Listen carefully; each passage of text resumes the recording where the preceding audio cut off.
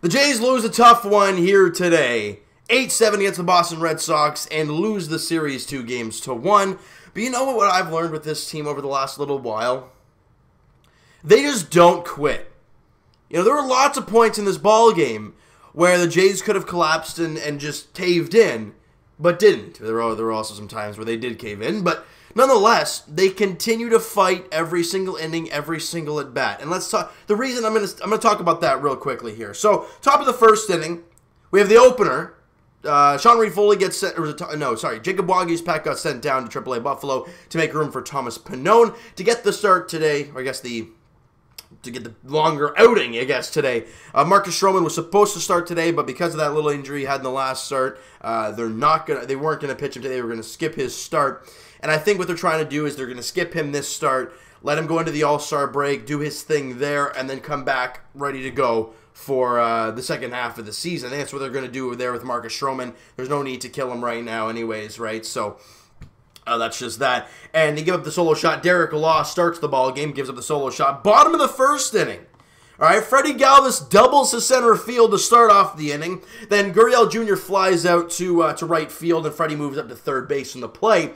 Cavan Biggio walks. I mean, what else is new? The guy gets on base at, at, at will. And then Justin Smoak walks in a full count. So this again, this team being patient, being pesky. Now the bases are loaded with one out for Rowdy Tellez. And he singles to center field. Galvis comes in. Biggio comes in. And, the, and then uh, Smokey ends up at third. Runners in the corners now. Jays take a 2-1 lead for Teoscar Hernandez. And then some craziness happens there, and they get out of the inning. But nonetheless, you have a 2-1 lead. You, they scored one to get that lead. You answered right back and scored two of your own. Uh, what a, it was an amazing job for the Jays against uh, Hector Velazquez. It was initially Rick Porcello's start, but he did not start today. It was Hector Velazquez. And um, and the Jays had a 2 1 lead. Bottom of the second, Danny Jansen at the dish. And this guy is red hot. I mean, red hot. You know, at bottom of the second inning, he gets a, a fastball on the high away corner and he drills it 417 feet to dead center field. His seventh home run of the year, adding on to the Jays' lead. It's now a 3 1 game. All right, let's go to the bottom of the fourth. Danny Jansen at the dish again. On the very first pitch, a slider was a hanger, and he crushes it dead center, and it's gone again. Jansen's got two home runs, 424 feet, and the Jays have a 4 1 lead. They're feeling awesome right now. And, uh, and then, uh, you know, the Jays continue on in that fourth inning. They pile on early on here. Brandon Drury then doubles to left field. Then a wild pitch, Drury moves up to third base in the play. Eric Sogard grounds out, you know, but then Freddie Galvis comes up, and he gets a first pitch, you know, uh, he gets a first pitch cut fastball in the down middle middle low. So good spot for Freddie, and he drills it. I mean, he drills it the other way. I don't know how it gets out of here. It barely scrapes out of the yard, but it leaves the ballpark. Two run shot. The Jays got a 6 1 lead. They, this is fantastic. But then the wheels, wheels start to come off in the top of the sixth inning.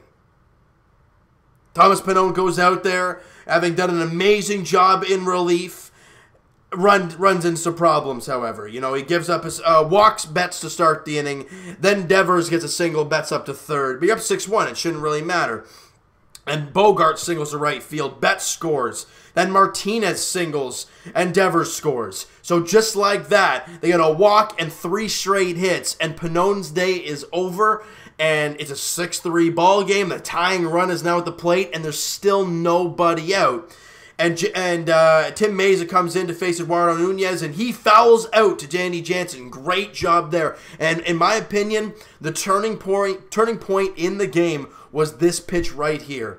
Mayza throws the pitch down, and it gets away from Danny Jansen. It's a hard ball to block, and it ends up getting away from him. Both runners move up on the play. The reason I say that's a big, big moment in the game there's one out. You had runners at first and second. The double play is still in order here. And you have the catcher at the dish, Vasquez. So you have the opportunity here to get him and get out of the inning. Sorry, get a ground ball, double play, and ball any inning over, and you hold the damage. But instead, that wild pitch, both runners move up. Double play's not in order now, and there's still only one out. And I think uh, Mayza was up 1 2 or 0 2 on Vasquez, ends up walking him. And now the bases are loaded for Jackie Bradley Jr., which I was like, you know what, maybe I'm okay with this. Because, um, you know, yes, he's yes he's faster than Vasquez, but double play is in order now, force play at any base, and you have the lefty on lefty now. Well, Jackie Bradley Jr. kind of punches it into the shift, or I guess away from the shift. Galvis makes an amazing play. Biggio books it over to second base, makes it a fantastic play. They score a run. However, it's a 6 4 game, and you got two outs now for Michael Chavis. And, Mac- and Tim Mayza throws a pitch on the inner half to Chavis, and he crushes a three run shot, and the Red Sox now then have the 7 6 lead. The Jays give up six runs in that one inning. You had a 6 1 lead, and then you're trailing by one. That just can't happen. You just can't allow that. Good teams will have to shut guys down. Don't care what the offensive team looks like. It's the way it happened there. But the Jays weren't done just yet, though. Danny Jansen in the bottom of the eighth. He didn't. He didn't hit a third home run. If you guys are wondering, uh, he hits a double over the left field left fielder's head. It's ground rule double. He's at second with one out. A couple batters later, Eric Sogard at the dish with two out, and Danny Jan was he at second or third? Either way, he was in scoring position. I think he was at second actually. And Jan, and they and they put the shift on Sogard, putting Bogaerts up the middle. But if they had him in the initial shift, Sogard would be out, but he hits it into the hole. Jansen comes around to score. The Jays have tied it back up at seven. Once again, I say the resilience of the Toronto Blue Jays, fantastic. And then we go to the top of the ninth inning. You know, Ken Giles on the mound, looking to you know give the Jays a zero, and then go into the uh, go into the bottom of the ninth inning, looking looking to walk it off. And. Uh, things don't look good. Marco Hernandez comes to the dish. And literally everything that you look at when you look at the stats and you look at the way he hit the ball and every it's a 96 mile an hour fastball right on the inside corner. And he hits it right down the line, 337 feet, not very deep. And it's gone. 8 7 Red Sox. You go to the bottom of the ninth inning. Jays have runners at first and second looking to win the ball game. Vladdy at the dish, and he chops out to end it. So you could say that this game was all about that six run inning and then a solo shot to a guy who only had his second home run of the year. But in the end, you got to look at it from a Jays fan perspective and say, okay, what are the positives? Well, the positives are Freddie Galvis went two for five, had a couple RBIs and a home run, and scored a couple runs. Good job. Gurriel Jr. guys went 0 for 5 with a strikeout. He had a rough ball game. And Biggio, yes, he went 0 for 2, and he struck out, but he walked three times. Cavan Biggio doing amazing things as usual, and he scored a run as well. Justin Smoak 1 for 3, walked twice. Rowdy Tellez one for five with a couple RBIs in that game, but again, a couple big strikeouts for Rowdy Tellez in the ball game.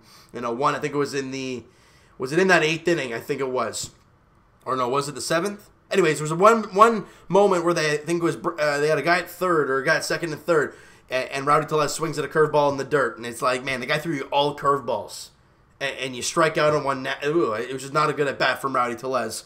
And uh, Hernandez goes one for four in the ball game. Obviously, Vladdy goes 0 for one. But the bottom of the lineup coming clutch once again. You look at yesterday's ball game and the last few ball games. Um, Danny Jansen and Brandon Drury have played great baseball, and Danny Jansen he went three for four with a couple of home runs, three runs scored, scored two RBI, had two RBIs. And the guy's hitting 208 now. A guy that not too long ago was hitting 168 is now hitting 208, and it is great to see Danny Jansen find that bat. We know what he is as a catcher, so to see him hitting the ball the way he the way we were seeing now, it's awesome. And Brandon Drury, after the big two-run shot there yesterday, he went two for four with the run scored there today. He's hitting 218. Still not very good on the season, but a great job there. We talked about Derek Law's performance, so uh, two thirds of an inning, two hits, a run, and really wasn't that great. And Thomas Pino on the line doesn't suggest how well he pitched, but one rough inning. That was it. Four and a third, four hits, four runs, and four strikeouts. Put in perspective, they had three hits off him in that one inning. the rest of the ball game he was dynamite, and they just they just got to him in that one inning. Mayza one, uh, one inning, one hit. Obviously, the, three run shot to Michael Chavis and walked the batter and gave up two runs. Joe Biagini went a clean inning, walked the batter. Uh, Nick Kingham went a clean inning, struck out a batter, and then Ken Giles picks up the loss. Obviously, the home run to Marco Hernandez in the ninth. All right, now quickly we're going to hit the minor leagues, guys, and, and kind of see what's going on down there. The Buffalo Bisons, not a whole lot to talk about uh, down there in Buffalo. I know that um, Bo Bichette, nope, no, that's not updated. Hold on. I think Bo Bichette went one for five in that ball game there today. Uh, scored a run in the game, had an RBI, uh, hitting 299 on the year down there. And a guy that I want to keep an eye on in the bullpen. It's just a little thing. Ty Tice, the reliever. He has put up insane numbers all year long, all right? Down in Double A, New Hampshire, where he started the year. By the way, his birthday today. Happy birthday, Ty Tice. Uh, he went 1 and 3 with a 1.09 ERA in 20 games uh, as a reliever uh, for the for the New Hampshire Fisher Cats. And since he's gotten called up to the Buffalo Bisons, uh, he's two and zero oh with a 1.64 earned run average in seven ball games. So got to keep an eye on there as a reliever. Him and and um, Zach Jackson are the two guys out of the bullpen that I think might be impact players for the Blue Jays heading into September. That's just my feel towards that. Double A New Hampshire, uh, Santiago Espinal one for three in the ball game. Riley Adams one for four, and uh, that's about it. Zach Lowe has been rough lately, and he got lit up once again. But I, we're gonna go down to the Dunedin Blue Jays real quick, we're real quick here, guys. And Cal Stevenson one for four. Alejandro Kirk, my boy, one for three with a couple walks. And I didn't realize Alejandro Kirk's, Kirk is hitting 320 with an on base of over 430, and the guy's eight like 20. Guys ripping it up there in Dunedin. Demi Orimoloye went one for four in the ball game, and Nick Podkul two for four with a couple RBIs. He's hitting 290 in a very short time there in Dunedin. Great job, and my boy Josh, sorry, that was probably a little too loud, but Josh Winckowski, the man himself, has done an amazing job since being called up to Dunedin. He has thrown a total of like what, 17 innings, something along those lines. Maybe is maybe 14, between the 14 and 17 innings. He went seven innings again today, one hit, walked one, and struck out six, and didn't allow a run. He has been fantastic all year long. He tore up Lansing, and he's come up to Dunedin and continues to do amazing. Amazing job there by Josh Winckowski there today. Down in Lansing for the Lugnuts, Gabriel Moreno, the catcher, doing amazing things. He was two for three with an RBI and a run scored, the 20-year-old kid. Uh, 301 average down there. Griffin Conine went 0 for 2 with a walk in the ball game. Or, sorry, excuse me. Wait, hold on a second. Uh, oh, we ended up going one for three with a walk. Good job, Conine. He's hitting 330 on the year, and uh, nothing really great on the mound. So we're going to quickly. I don't. Is Vancouver playing right now? I think they are. Uh, 635 first pitch. Yeah, and they're, they're in the third, and it's a 0 0 ball game. We're not going to look at that, though. The Bluefield Blue Jays, however, are playing right now. Is it over yet? It was the bottom of the sixth last time. No, it's top nine, and uh, Bluefield is losing 8 3. They were up at one point, uh, 3 1. So that's the minor leagues for you.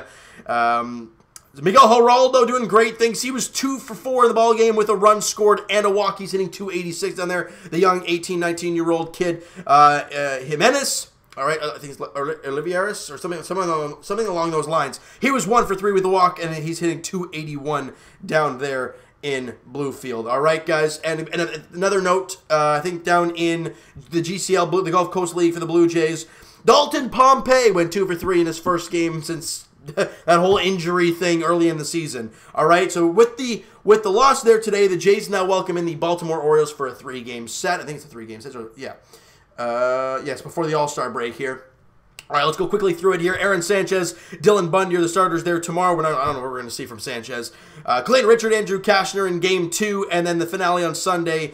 Uh, I think it's Gabriel Ynoa and Trent Thornton, the starting pitchers there in the three game set. All right, so you know what, guys? That is going to do it for this one. You guys enjoyed the video and the ball game because it was entertaining nonetheless. Smack that like button to appreciate that and the subscribe button if you guys have not already. Comment down below your thoughts on the game, the video, the minor leaguers, the big leaguers. What do you think of Danny Jansen as of late? I'm going to hear your guys' thoughts about this team everything going on with them. And I'll talk to you guys, uh, or sorry, check out my main man, Blue Jays Wave on, in, on Instagram, Mo Buckets on Twitter. Uh, I wasn't able I wasn't able to be on his uh, podcast there today because of the whole funeral thing. If you guys listened to the last uh, video and saw Twitter, uh, that's just what happened today. It's been a it's been a really rough day, guys. That's why I haven't done the, the Leaf video for you guys yet, but that'll be uploaded there tonight as well. Just a heads up. All right, check out my main man. Blue Jays Wave on Instagram, guys. Twitter is down below. Follow up, send me a DM, do all that great stuff. And I will talk to you guys, Raptors Edition, at some point when the heck Kawhi Leonard decides to sign. decides to sign. Uh, Blue Jays edition, or sorry, Leafs edition very shortly as we talk about the Kerfoot signing, and I love the deal. We'll talk about that in a little bit here. And the Blue Jays open up a three-game set against the Orioles, the last series before the All-Star break. Aaron Sanchez, Dylan Bundy are the starting pitchers there tomorrow night at Rogers Center. Rogers Center, 7:07 first pitch. Thank you so much for listening and watching. Hope you guys enjoyed this video. Talk to you guys then.